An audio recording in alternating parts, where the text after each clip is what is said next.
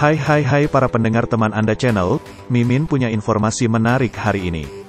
Yuk kita simak.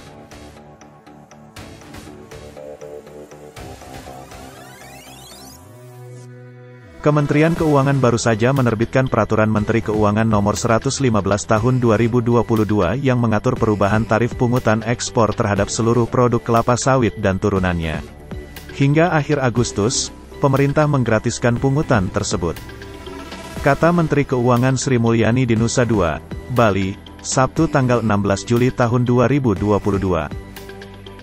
Sampai tanggal 31 Agustus tahun 2022, tarif pungutan ekspor produk sawit dan turunannya, seperti tandan buah segar, biji sawit, minyak sawit mentah, CPO, used cooking oil, dan sebagainya ditetapkan 0 rupiah. Aturan ini dikeluarkan merupakan respons atas situasi industri kelapa sawit guna meningkatkan harga tandan buah segar sawit di tingkat petani.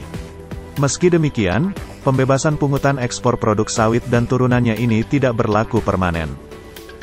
Setelah tanggal 31 Agustus tahun 2022 atau tanggal 1 September tahun 2022, pemerintah memberlakukan skema tarif progresif untuk tarif pungutan ekspor produk sawit dan turunannya.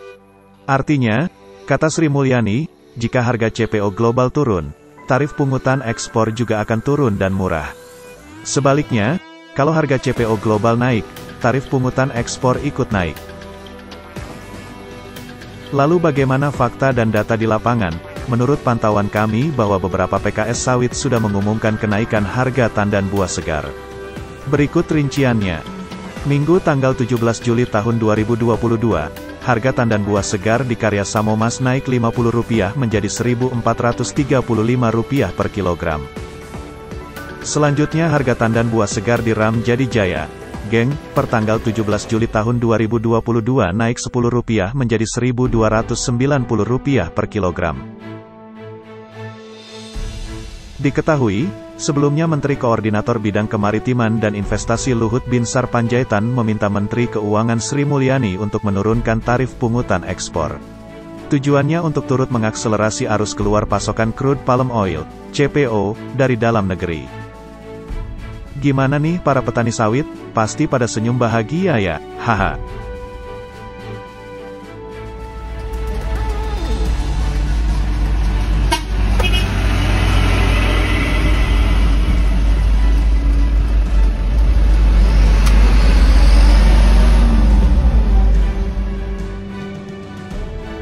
Terima kasih sudah mengunjungi channel kami, jangan lupa like, komen dan subscribe.